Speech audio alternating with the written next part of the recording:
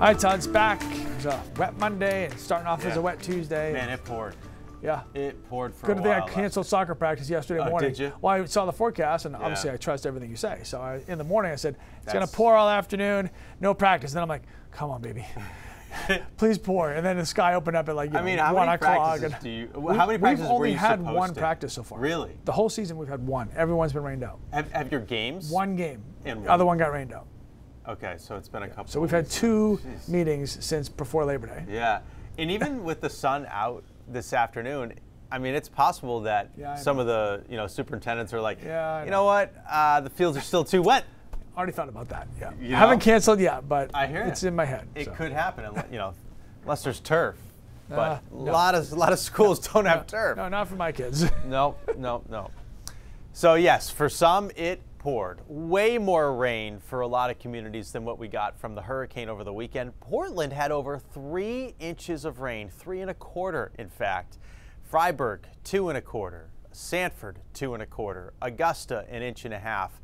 And then less than an inch for Bangor and Bar Harbor. It is still wet out there. We're still watching the storm move through. A lot of the coastline, though, has seen the rain come to an end. As we look at the south coast, there are just some sprinkles and a little drizzle falling in the greater Portland area. As you work your way out 302 to the Sebago Lake region, it's still raining on the light side. Lewiston, Auburn raining. Augusta, some light showers. But most of the heaviest rain is still in far northern Maine. Bangor, just some sprinkles. It's a little murky to begin. There it is, though, still coming down like heavy, heavy rainfall for our western Maine mountains, heading up the Kennebec River Valley and into the western Maine foothills and mountains, too. So there's the low. It'll continue to slowly work to the north. Drier air will punch in for the afternoon. We get improvements, and this high builds in for the second half of the week. Expect nothing but sunshine for a few days, comfortable temperatures too, right around 70 awesome late summer slash early fall weather. We'll have a little bit of an, a fall feel at times. Soaking rain will be shifting north through the morning. Clouds start breaking up too across the far south. It is a little chilly out there and a bit raw. There's still a breeze in some towns. Midday, it'll be sunniest right along the coast and across far southern areas.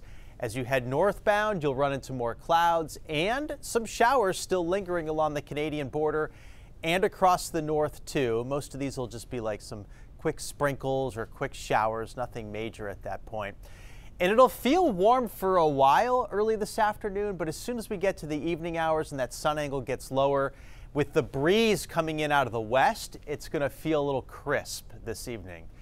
Temperatures today hit the mid 70s across the south, so at the height of the day, it'll feel pretty warm for Portland and York County. You go north, it's closer to 70, Lewiston, Augusta, upper 60s, Waterville, Bangor, Calais, and Bar Harbor. And then a totally different feel up in the mountains and especially across the north, where a few communities in far northern Maine do not achieve 60 today. Now, the rest of the week, tomorrow and beyond, look beautiful. This high will protect us from clouds, from rain, seasonable temperatures right around 70 degrees, the air nice and dry too, no humidity problems. Over the weekend, that high holds firm for the start of the weekend. We will be keeping an eye on the tail end of the weekend. There's a chance that some of this wet weather sneaks up here for Sunday. But this is a big gale to our south. A lot of it stays to our south, it looks like, and we remain protected by this high. We'll keep an eye on things, let you know if Sunday ends up being a rainy day or just a cloudy one. Marine forecast, small crafts up, seas 4 to 6. Northwest winds will pick up and get gusty this afternoon. And for the first time in months, the water temperature has slipped into the 50s, no longer in the 60s. So there's your seven day. We'll clear out today. It turns breezy. This afternoon's high around 70. Then it stays right around 70 degrees tomorrow, Thursday, Friday, and Saturday. The next few days look beautiful. Wednesday, Thursday, Friday, all sunny days. Saturday, some high clouds will work in. That's the first day of fall. We'll see the chance for some showers on Sunday, but that is not a guarantee at this point. Early next week, partly sunny, upper 60s.